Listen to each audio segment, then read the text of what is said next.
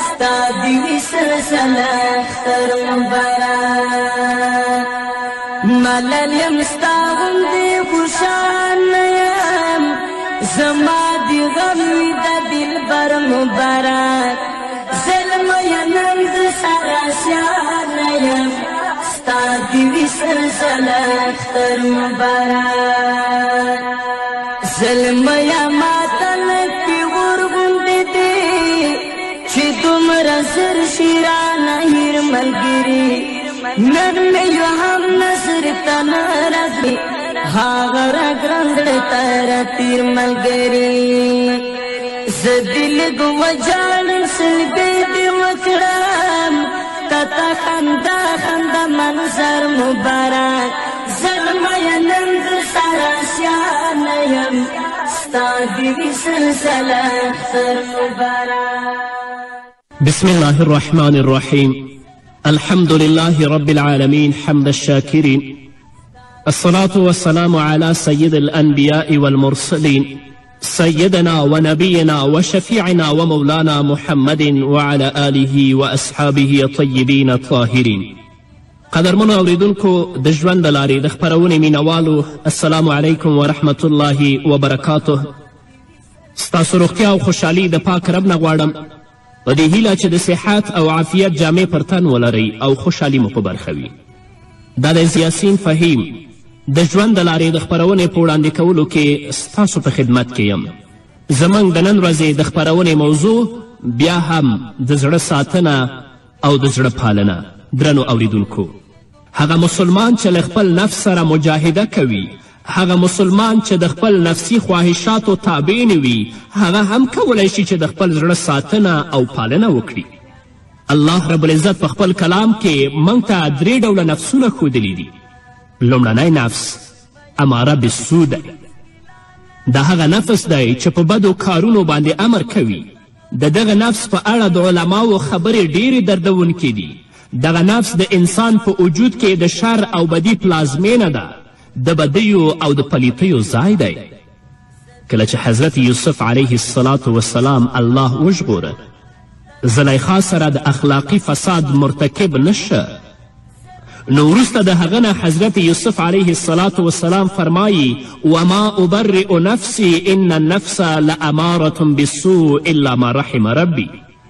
زه د خپل نفس ښه نه وایم د خپل نفس پاکی او تبریه نه کوم نفس خو پر بدی هڅوونکی دی مګر دا چې پر چا زما د رب رحمت وي دوهم نفس لوامه نفس دی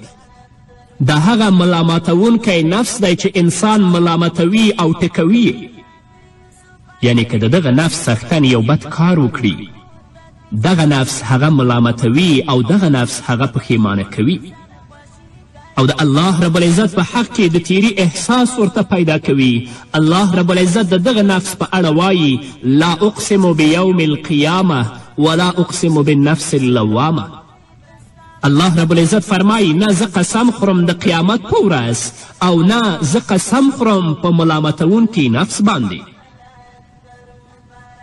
دلته له یوې داسې مسئلې سره مخ کیږو چې باید په اړه فکر وکړو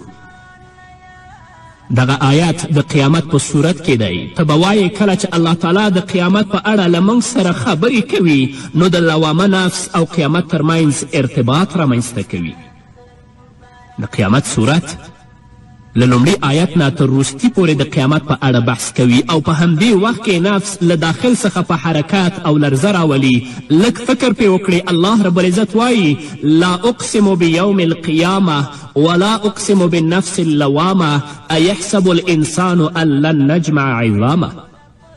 الله وینا زه قسم خورم د قیامت په ورځ او نه زه قسم خورم په ملامتوونکي نفس باندې آیا انسان دا انګیري چې موږ به د هغه هډوکي راټول نشو کړی دغه راز پرله پسې آیتونو ته زیر شئ چې د قیامت له ورځې بحث کوي الله وایي فاذا برق البصر وخسف القمر وجمع الشمس والقمر بیا کله چې سترګې تیغې وخیجي او سپوږمۍ توره شي او لمر او سپوږمۍ یو ځای کړی شي ان تر دې آیته پورې چې الله رب العزت فرمایي ایحسب الانسان ان یترک سدا آیا انسان دا انګیرلې ده چې هغه به همداسې مهمل پرېښودلی شي دغه ټول صورت د قیامت او لوامه نفس په اړه باندې بحث کوي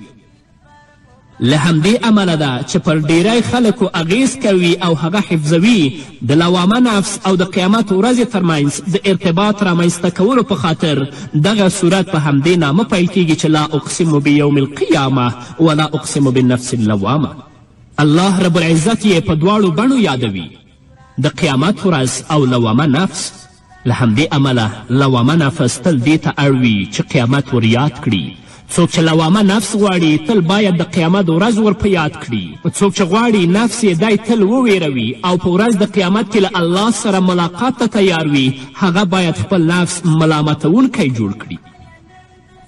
که نفس خپل خاوند ملامت که نو د قیامت ورځ به ورته یاده شي او که د قیامت ورځ ورته یاده شوه نو د هغه نفس به ضرور ملامتونکی او د خپل خاوند ټکونکی وي دواړه صورتونه په مستقیمه توګه پر یو بل باندې اغیزه لري په همدغه صورت کې د لوامه نفس د مخالف نفس بیلګه هم راغلې ده کله چې الله رب العزت د قیامت په صورت کې د لوامه نفس په اړه خبرې کوي نو یوه بیلګه یې د لوامه نفس د مخالف نفس لپاره هم وړاندې کړې او فرمایي بل یرید الانسان لیفجر امامه خو انسان دا غواړي چې وړاندې هم د آخرت په نه منلو سره بدې چارې سرته ورسوي په دې توګه د لوامه نفس د مخالف نفس څښتن به په خپل راتلونکي ژوند کې غواړي چې فساد ته مخه کړي لکه چې الله وایي بل یرید الانسان لیفجر امامه یسأل ایانا یوم القیامه خو انسان دا غواړي چې وړاندې هم د آخرت په نه منلو سره بدې چارې سرته ورسوي پوښتنه کوي نو د قیامت ورځ به کله راځي له همدې امله د اماره نفس څښتن تل د قیامت ورځې په اړه پوښتنه کوي ځکه غواړي چې په خپل راتلونکي ژوند کې ګناوې او سرغړونې وکړي هغه نه غواړي چې د قیامت ورځ ځان ته یاده کړي له همدې امله د دغسې سړي نفس به ملامتوونکی او ټکوونکی نه وي د لوامه نفس او قیامت ورځې ترمنځ د ټینګو اړیکو له امله هغه دواړه په یو صورت کې راغلي دي دریم ډاډمن نفس لکه څنګه چې امر کوونکی نفس د بدی او شی همدغه شان ډاډه نفس د ایمان او نور ځای دی مطمئن دی یا په بل عبارت ډاډه نفس د الله لپاره د درناوي وړ دی او د خدای لپاره تر کعبې نه هم ډیر په زړه پورې دی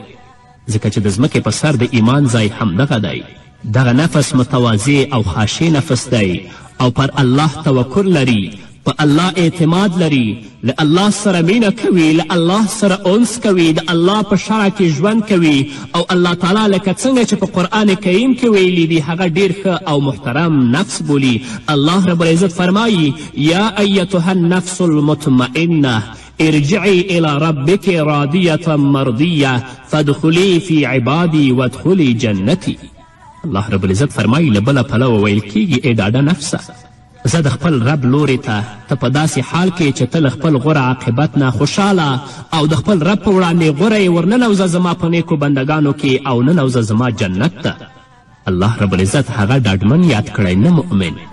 ځکه چې له دغه نفس پرته نور ټول خلک حیران او سرګردانه دي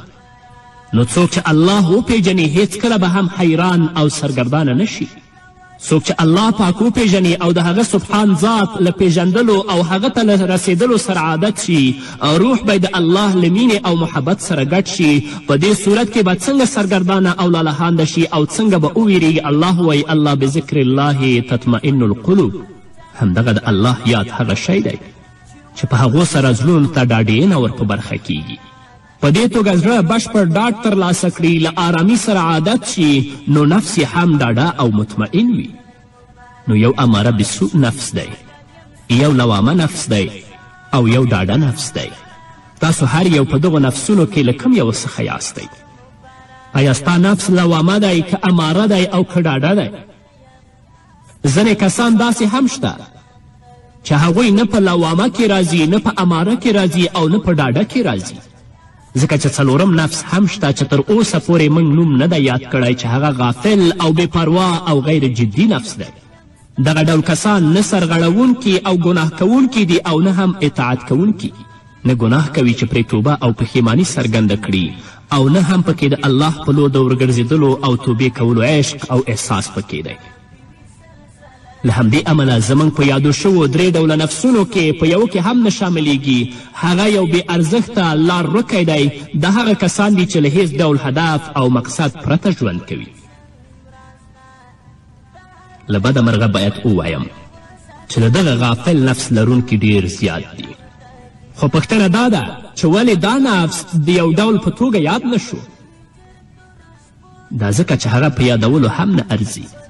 ځکه چې نه ریښتونی دی او نه هم جدي زه په دې ویرېږم حسینه چې د دغه نفس خاوندان زموږ خبرې واوري خو ځان ملامته نه کړي هغوی به هیڅکله هم ډاډ او آرامتیا ترلاسه نه کړي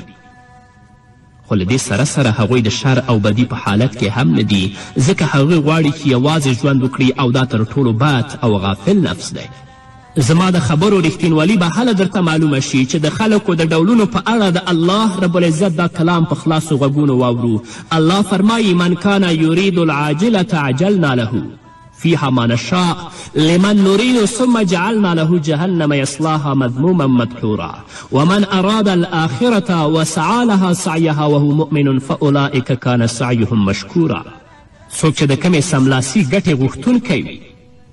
هغه ته یې موږ همدلته ورکوو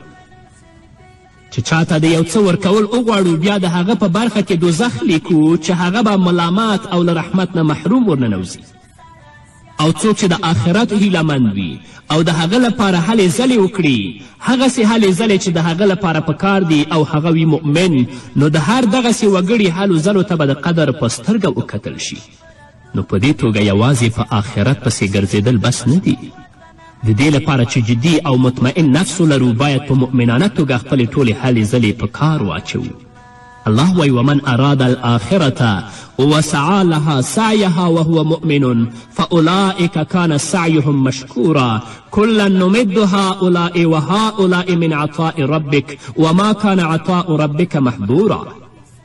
الله رب العزت فرمایي همدغو او همغو دواړو ډلو ته موږ په دنیا کې د ژوند وسایل ورکوو دا ستا د رب بخشش دی او ستا د رب د ورکړې مخنیونکی هیڅوک نشته دغه آیتونه دوو ډلو ته اشاره کوي خو له درېیمې ډلې څخه یادونه نه کوي، هغوی چې لکه د نورو خلکو په شان یوازې ژوند کول غواړي، که د هغوی ملګري ښه او دینداره خلک وي له هغوی سره ځي او ملګرتیا یې کوي خو برعکس یې که د هماغې ورځې نور ملګري ناوړه خلک وي له هغوی سره هم ملګرتیا کوي او ورسره یو ځای کېږي. دغه ډول خلک څه غواړي؟ د څه لپاره ژوند کوي؟ د هغوی مقصد څه دی؟ هغوی یوازې ژوند کوي؟ نو الله رب العزت دې زموږ نفس مطمئنه نفس وګرځوي الله رب العزت دې زموږ نفس لوامه نفس وګرځوي چې موږ الله ته متوجه کړي چې کله بدي کوو په هغه باندې موږ وټکوي الله دې د اماره بسوء نه موږ او تاسې او د غافل نفس نه موږ او تاسې وساتي او الله دې موږ ته توفیق راکړي چې خپل نفس سره مجاهده وکړو تر څو د خپلو زړونو ساتنه او پالنه موږ او تاسو کولی وشو په همدې هیله درنو اوریدونکو نور به خو دې دمې نه وروسته ستا دې وي سل ځله سر مبارک زه د شاهد لالي مزار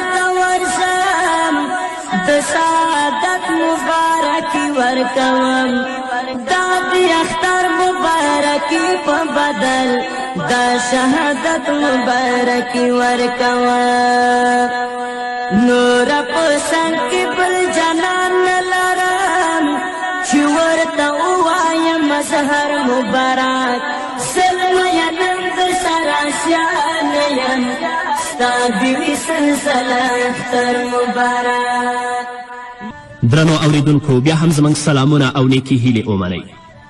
اوس چې له دې ټولو خبرو راتیر شو او ستاسو نه پوښتنه وکړم چې ستاسو نفسونه له کوم ډول نفسونو څخه دي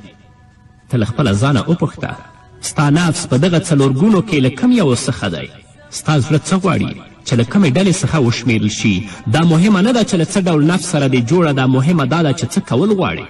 زموږ نفسونه همداسې دي. موږ هغه وپېژندل او هغه مو تعریف کړل او د ځان په وړاندې مو کېښودل. زموږ نفسونه به یا اماره بالسو وي، یا به لوامه وي، یا به مطمئنه وي او یا به هسې وي چې د یادولو نه دی. ښه پام وکړئ درنو اورېدونکو! ځینې وختونه یو سړی له دغه درې ډول نفس څخه د یوه په طرز ژوند کوي او ځینې وختونه نفس له پیدایښت نه تر مړینې پورې ثابت پاتې کیږي. په دې صورت کې پناه غواړو له هغه حالت نه چې نفس مو پکې اماره بالسوء وي دغه راز ځینې وختونه سړی ژوند کوي او د ژوند په غفلت کې مري له بده مرغه دغه کسان لکه د حیواناتو په شان دي اوس به څرنګوالی د الله رب العزت په دې کلام کې درته معلوم شي الله فرمایي لهم قلوب لا یفقهون بها ولهم اعین لا یبصرون بها ولهم آذان لا یسمعون بها اولئک کالانعام بل هم اضل الله فرمایي د هغوی زړونه شته خو هغوی ورباندې فکر نه کوي د هغوی سترګې شته خو څه ورباندې نه ویني د هغوی غوږونه شته خو څه پرې نه اوري هغوی د څارویو په شان دي بلکې له هغوی نه هم لا پسې تیر دي ځینې وختونه نفس له پیدایښت نه تر مړینې پورې په یو حالت کې ثابت پاتې کیږي دغه ډول نفسونه له پیدایښت نه تر مړینې پورې د ګمراهي په حالت کې دي دا ناشونې ده چې هغوی به په خپل ژوند کې یوه ورځ وعظ او نصیحت نه وي اورېدلی خو له دې سره سره به د هغوی ژوند پر غفلت او ګمراهي بنا وي د هغوی ژوند څه شی دی میلې کول د هغوی ژوند څه شی دی ملګري د هغوی ژوند څه شی دی مسافرتونه د هغوی ژوند څه شی دی دندې د هغوی ژوند څه شی دی اولادونه او د هغوی ژوند بالاخره څه شی دی فساد و منکرات و فجایع نو په دې صورت کې داسې نفس ته موږ غافل نفس وایو ځکه چې انسان د دې کار لپاره نه دی پیدا شوی د انسان ژوند باید له پای نه تر پایه پورې په اطاعت او په عبادت باندې بنا وي دا نه چې خپل ژوند په میلو کې او په سفرونو کې او د خپل ژوند په منکراتو او فجایو کې تیر کړي بل پلو ښایي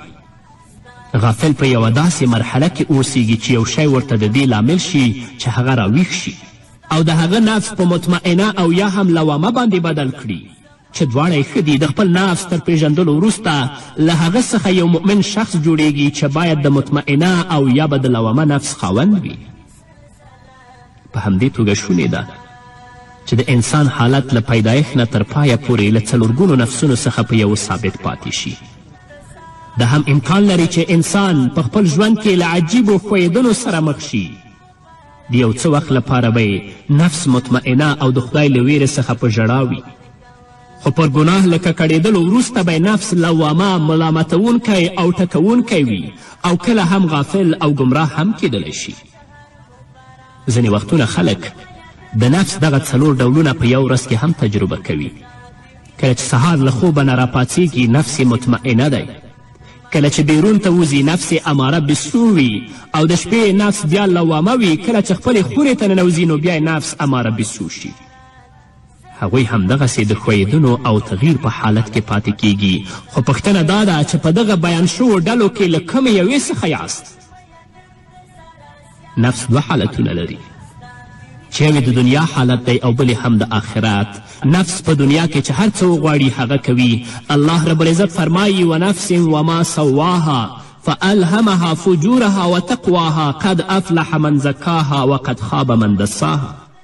الله وایي په انساني ناغه هغه ذات قسم چې هغه یې برابر ک بیا یې د هغه بدی او د هغه پرهیزګاري هغه ته الهام کړه په رښتیا سره بری وموندو هغه چا چې هغه د نفس تسکیه وکړه او ناکام شو هغه څوک چې هغه یې لاندې پټ په آخرت کې هم دوه حالتونه لري